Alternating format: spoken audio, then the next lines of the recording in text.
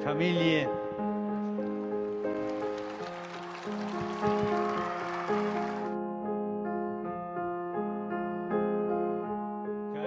Care.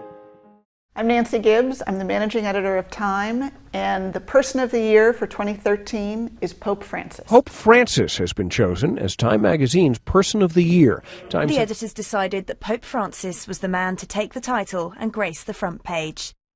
Emily Thomas, BBC News. Time magazine officially naming Pope Francis its 2013 Person of the Year. He's a man of many firsts. We just announced earlier on the Today Show Time Magazine's Person of the Year, and it is Pope Francis. He beat out Edward Snowden, Edith Windsor, the gay rights activist this year. Pope. Francis this morning was named Time Magazine's Person of the Year for 2013. Unbelievable. How much crack does a mayor have to smoke to win Person of the Year? But there he is. That's the cover, and um, you can read all about it in the dentist's office in three years.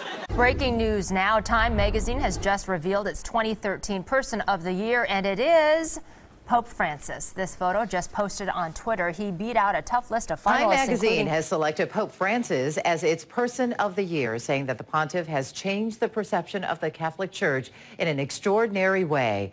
And Chicago artist Jason Seiler created the image of the Pope on the magazine cover. Seiler is a classically trained oil painter who actually taught himself to paint digitally.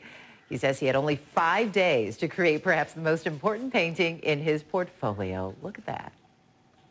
I wanted to present him in a, a more um, charming type of a way. And also, I needed his eyes to be looking a certain way, and I had no reference of that as well. So I had to make up the eyes and the mouth completely. Wow, check out that work. Seiler also painted NSA whistleblower Edward Snowden.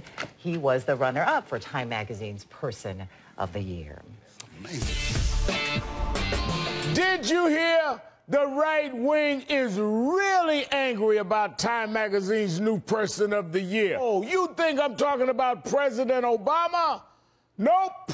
I'm talking about Pope Francis, the only person the right seems to hate as much as President Obama these days. Time magazine names Pope Francis its Person of the Year for 2013.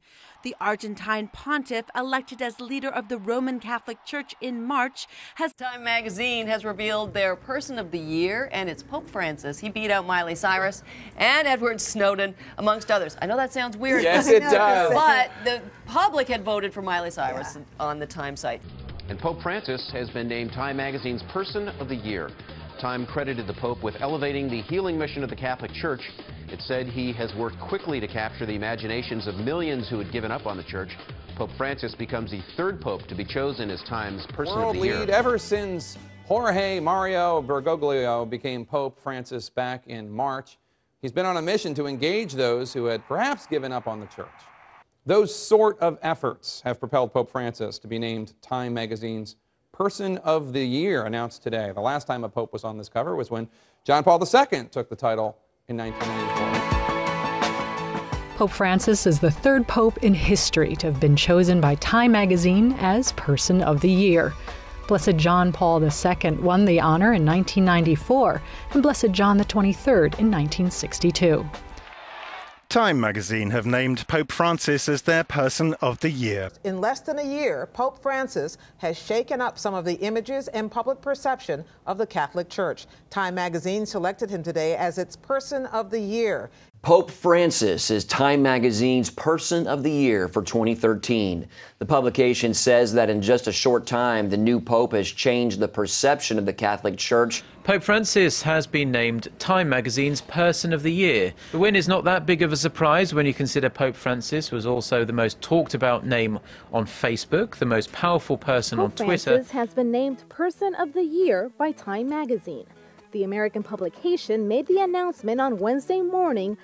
Pope Francis has been named as Person of the Year for 2013 by Time magazine. Pontiff beat out former NSA analyst Edward Snowden for the distinction, which the magazine has been giving out each year since 1927. Si Pope Francis.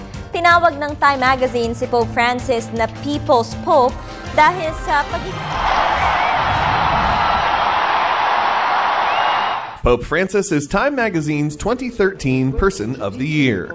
Time editors decided the Argentine had the most impact on the world and the news, for better or worse, over the past year. We think that in the in the nine months that he has been Pope, he has been a transformational figure. He has changed perceptions of the church. He has changed the focus of the church. He's changed the tone of the church. The person of the year for 2013 is Pope Francis. Yes. Yay. You got fist bumps. Let's talk there. about smashing brilliance. Let's talk about Pope Francis. Uh, Nancy, uh, why did Time select Pope Francis? Because he has, in a very short time, changed the tone and the focus and the perception of one of the world's largest institutions and committed to confronting some of the deepest challenges of our time. And I don't know that we've ever seen anyone capture people's imagination so broadly and deeply, so quickly as this Pope has, far beyond the reach of the Catholic Church.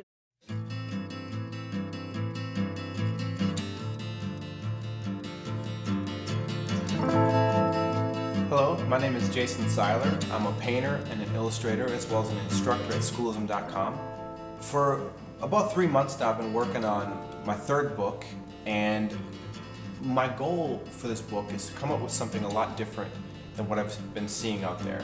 Uh, most books that I see are very artsy, you know, a lot of um, repetition and different things that we've seen over and over again. But a lot of the main answers that people have about the industry and how it works and what it's really like to be professional, uh, to, to work in, in the magazine industry, um, book industry, movie industry. A lot of these, um, or just even in the fine art industry, a lot of these books don't really answer the questions. A lot of people are left hanging.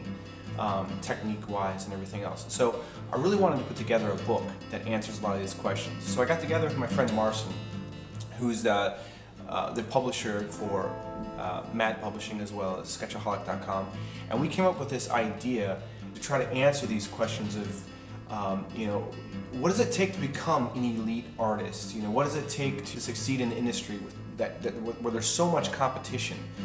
Um, and and what does a person have to do to get to this level? So we decided to answer these questions and a lot more with a book that we're going to call The Complete Artist. And I'm super excited about this. I believe that this project will truly be an epic book. It's going to be a must-have for artists of all skill levels. This book is for every person who hopes to unleash their creativity and turn it into a successful career.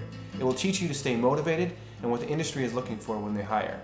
You will get an honest, behind-the-scene look at what it's like to work as an illustrator and caricaturist for magazines such as Rolling Stone, The Weekly Standard, Der Spiegel, The New York Observer, The New Yorker, and more. You will learn exactly what steps to take in having your work prepared for publications and what they're looking for. This book is packed with beautiful imagery, educational and audio interviews, articles, tutorials, as well as painting sessions. I will also share a massive portfolio of my published and unpublished work along with sketches and studies. I've also invited my friends who are not only inspirations to me and my art, but also some of the world's best artists to share their stories and their portfolios. Artists like Cesar Santos, David Jon Kassan, Grigor Eftimov, Jeremy Geddes, Sean Cheetham, Justin Coro Kaufman, Henrik Uldalen, Robin Eley, Sterling Hundley, Tyler Jacobson, Aleah Chapin, Shawn Barber, and William Ray. All amazing artists, just mind-blowing artists. You're gonna love it. We've all invested so much time and effort into this project, and now we're on the final few steps. That's why we're here on Kickstarter. We need your help to get a few more interviews done, recorded, edited, and to get the book printed and into your hands in a way that it's meant to be seen. So if you think a book like this has the space on your bookshelf, please give us a hand.